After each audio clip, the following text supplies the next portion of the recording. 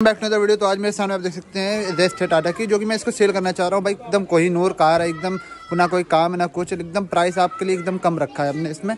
तो चलते हैं, पहले अंदर से मैं शुरुआत करता हूँ, क्योंकि अंदर से इंटीरियर इसका दिखाना चाहूँगा। कैसा है, कैसा नहीं है।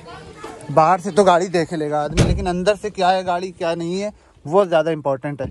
तो यहाँ पे आप देख सकते हैं मैट ग्रीन कलर की है, जो कि भाई बहुत ही ज़्यादा अच्छी है मतलब कोई काम नहीं है इसमें।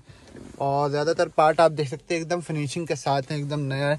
हाँ स्टेयरिंग पे थोड़ा सा ये है कि कवर अवर की ज़रूरत पड़ेगी। नहीं तो स्टेयरिंग पुरानी मिलती है, पुरानिया मार्केट में, वहाँ से आप ले सकते हैं, आराम से, सस्ते मिल जाती है। और टाटा और मारुति की पार्ट जो आप लोग तो जानते हैं, बहुत ही ज़्यादा मतलब अच्छे प्राइस में मिल जाते हैं। यहाँ पे सीट कवर्स भी लगे हैं, जो कि काफ़ी अच्छी हैं ब्लैक में हैं, देख सकते हैं आप लोग। और छत आप देख सकते हैं एकदम क्लीन है। मतलब थोड़ा बहुत दाग है, जो छोटा मोटा है, वो सब है। बाकी हर चीज़ यहाँ पे लाइट है।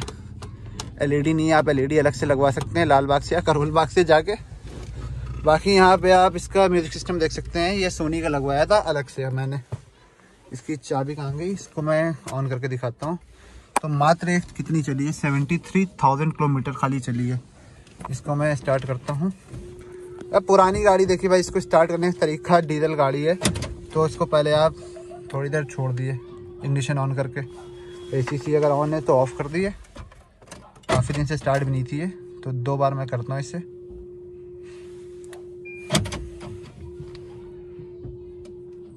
तो अब सेल्फ मारते हैं, इसकी बैटरी डाउन है काफ़ी। तो अभी इसको स्टार्ट करने की गलती नहीं करूँगा, थोड़ा रुक जाते हैं।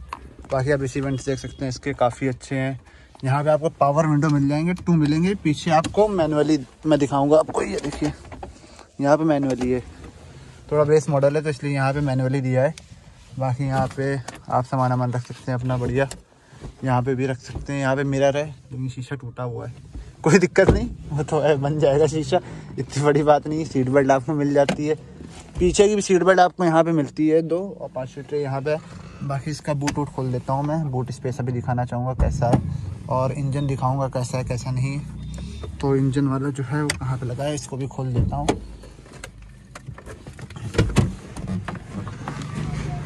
तो चलते हैं बोट की तरफ़। तो यहाँ पे आप देख सकते हैं, अच्छी खासी स्पेस है। यहाँ पे नंबर प्लेट पड़ी हुई है। ये पुरानी वाली है। अब तो वाली हो गई है। दूसरी डिजिटल जो है यार भाई, चलाने से कट जाता है बहुत जल्दी। यहाँ पे बाकी आप देख सकते हैं कि स्प्रिंग लगी हुई है।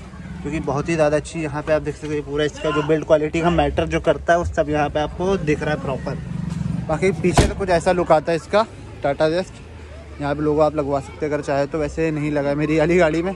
बाकी आपको शार्टफिन एंटीना यहाँ पर नहीं मिलेगा नॉर्मल वाला एंटीना देखने को मिलेगा। टायर आप देख सकते हैं, काफ़ी अच्छे हैं, नए हैं। ज़रा टायर भी एकदम नया है। बाकी आपको इंजन खोल के दिखाते हैं इसका। ये कोरा जेट इंजन है, इसमें लगा हुआ है, जो कि बहुत ही ज़्यादा अच्छी क्वालिटी का होता है। और पावर की बात करें तो बहुत ही ज़्यादा बढ़िया पावर है। अगर किसी को भी चाहिए तो आप कमेंट कर सकते हैं, यहाँ पे मैं डिस्क्रिप्शन में फ़ोन नंबर डाल दूँगा, आप लोग कॉल कर सकते हैं। लाइट हाइट आपको दिखाना चाहूँगा। ये बेटा, हट। हाँ जा रहा है। बहुत ज़्यादा यहाँ से हो गए। तो इसके पेपर इसमें शायद रखे होंगे, नहीं रखे हैं। आलू भुजिया रखी है। और ये तो रखा है फास्टैग इसकी भाई 1.2 लीटर का इंजन आता है इसका, जो कि ज़्यादा पावरफुल है। बहुत ही बढ़िया इंजन होता है 1.2 लीटर का। और गाड़ी फ़र्स्ट ऑनर है, चौदह मॉडल है। आपको ये गाड़ी पड़ जाएगी तकरीबन दो लाख नब्बे हज़ार की लास्ट प्राइस है आपका। और गाड़ी फाइनेंस भी हो सकती है, सोलह मॉडल गाड़ी है, कोई दिक्कत नहीं है। गाड़ी में कोई भी काम नहीं है।